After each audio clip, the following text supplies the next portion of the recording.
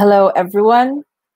Good evening, good morning, and good day. Thank you so much for joining me.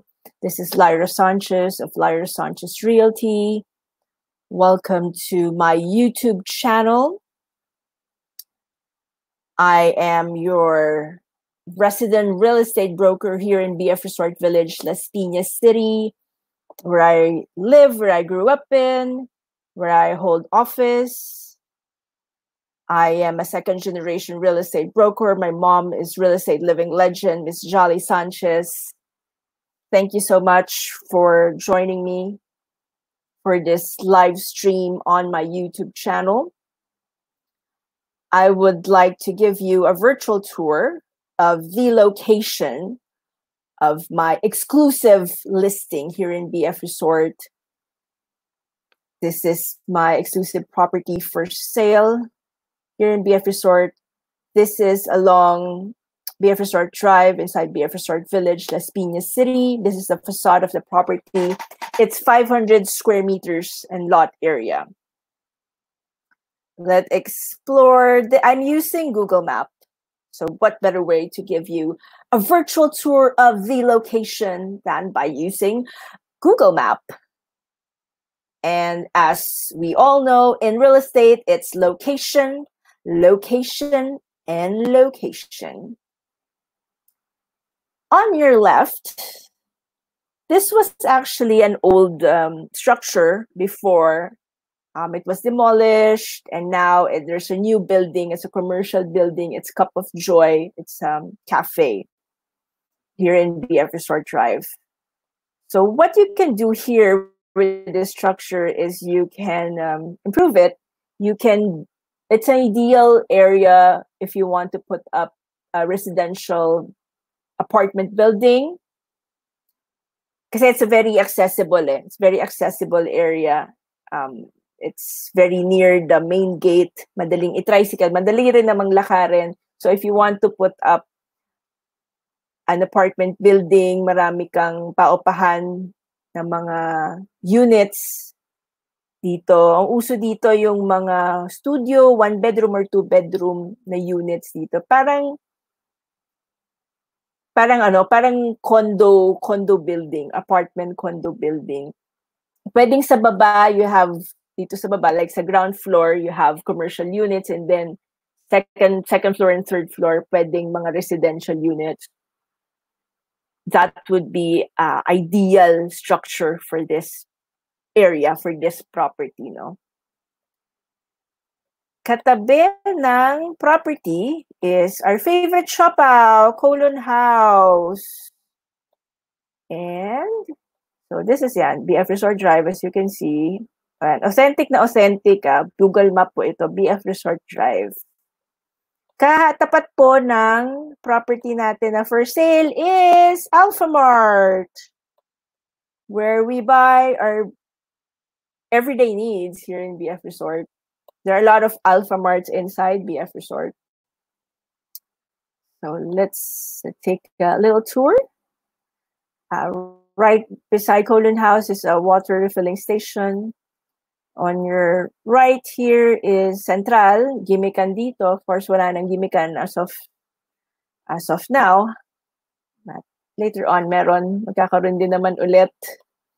And here is my one of my favorite restaurants here in BF Resort Tableau. Kitchen times cafe. They're open for takeout and curbside pickup. I just want to give you a tour of BF Resort Drive. It has been it has become a thriving commercial area. If you're from the south and you know BF uh, BF Homes Paranaque, Aguirre Avenue. This is our Aguirre Avenue here in BF Resort Las Piñas. So we have, just want to show you what this area is all about, what we have here. As you can see, we are approaching Mercury Drug, very important for your everyday medicine needs Lalo na if you're if you live with seniors or if you have a baby, very important you have a mercury jug inside your own village. This is Isabel's garden. Palabas na ho tayo ng main gate ha, ng BF Resort. So I just want to show you how how thriving this area is, how uh, ideal this uh, location of, of the property that I'm selling. So it's good for an apartment building or commercial building. Ang Isabel's Garden po is uh, by Queensland Catering. This is a venue.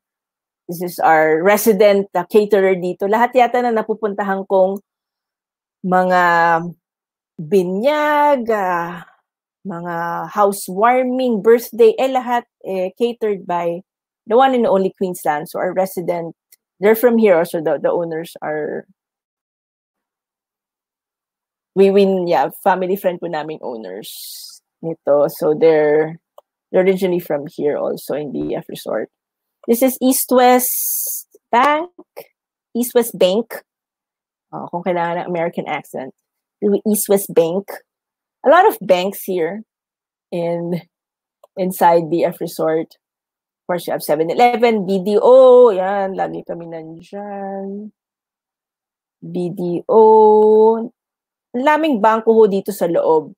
Makikita nyo, uh, East-West, nakita natin East-West Bank BDO. We have, will be approaching na rin PS Bank, BPI Family Bank. We have Metro Bank, Security Bank. Did I miss anyone? This is Elizabeth Seton School, which is I think is the most popular school in Las Piñas City and I think is the biggest. Because lahat po ng mga, ang dami tumatawag po sa akin, lalo na pag summer magpapasukan ng mga magulang, naghahanap ng bahay na mabibili or marerentahan. Specifically near BF, near Elizabeth Seton School. So I know personally na it's a popular school. Perhaps even the most popular school in in in Las Piñas. And it's inside BF Resort. So yung mga anak nyo, madali nyo na mahatid sundo. Of course, naka-online learning yung mga bata ngayon. But when all this is over, they'll be back to school. So it's good to live inside the village where yours where the school is. Para hindi rin masyadong maaga ang sundo ng school bus, di ba? Pagod na yung bata pagdating sa school dahil sobrang aga, dahil because you live outside the village. So that is Elizabeth Seton School. We are traversing BF Resort Drive inside BF Resort. You have a all day all day convenience store right beside it. Here you go. And right beside all day is the family home of the Villars, Senator Villar. They live here, I know for sure because my client just saw uh, Senator Villar at all day just uh, recently. So I know for sure that uh, they, they still live here. They're, they're originally from here, of course, inside BF Resort. This is uh, PS Bank. We're here. That's PS Bank. Ito yung ano, ito yung parking lot ng PS Bank. Yan. On, on our right is PS Bank. And there are a lot of homegrown cafes, milk tea, and mga restaurants inside BF Resort. Homegrown, even homegrown drugstores, homegrown salons, barbershops. Thriving, thriving community. Magkakatabing commercial buildings. So of course, back in the day when we moved here in the 1980s, we moved here in 1984. I celebrate my seventh birthday here in our neighborhood. Lahat naman to residential lang, puro bungalow lang yung mga bahay. At now, naging sobrang progre- progresibo na ng BF Resort. So, naging commercial area na ang BF Resort Drive. We're traversing along BF Resort Drive. BF Resort Village, Las Piñas City. Welcome to my hood. We are driving along, at least virtually, because we are about to to reach the main gate of BF Resort. Here is uh, another 7-Eleven. That's China Bank. That's BPI Family Savings Bank. This is, I want to show you our homegrown. I just want to show you this. It's Magic Wand, our homegrown cafe over here. Restaurant. Bumi, diyan kami bumi, ah, it's actually a bake shop. Originally, it's a bake shop. It still is a bake shop. So, diyan kami bumibili ng pandesal sa kanang.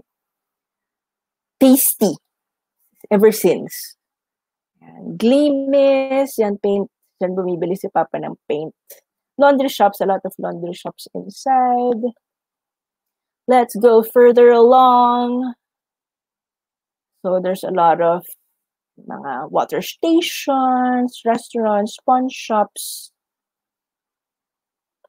Puro magkakatabihong commercial buildings ito. It's like our it's like a it's like a Giri Avenue na po. There's there's a lot of new buildings na rin po na commercial. There's Metro Bank up. Security Bank is on my left.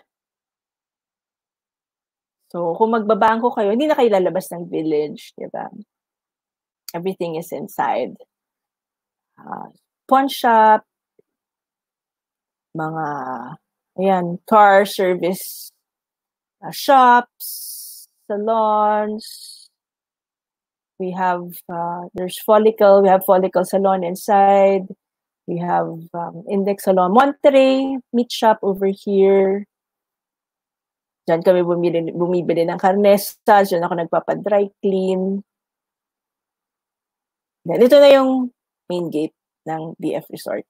So, I just want to show you how how how thriving this community is, this area is. This is our main gate. So, ang daming negosyo dito, mga homegrown businesses. We also have, of course, Uni Oil, our resident uh, gas station dito inside BF Resort. So, hindi na talaga, everything you need is inside. Hindi na kailangan lumabas na village if you live here. We are about to to go to the highway.